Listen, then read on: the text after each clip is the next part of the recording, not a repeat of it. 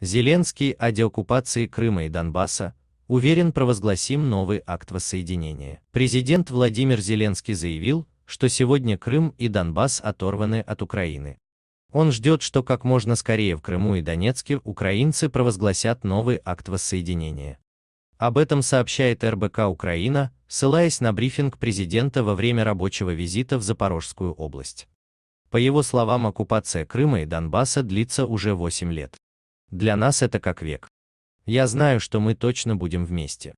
И уверен не через века, а как можно скорее в Донецке и в Крыму мы провозгласим новый акт воссоединения и будем отмечать это ежегодно, заявил Зеленский. Напомним, в Украине сегодня празднуют День соборности. Тем временем у границ страны собрались десятки тысяч российских военных, есть угроза нового вторжения России в Украину.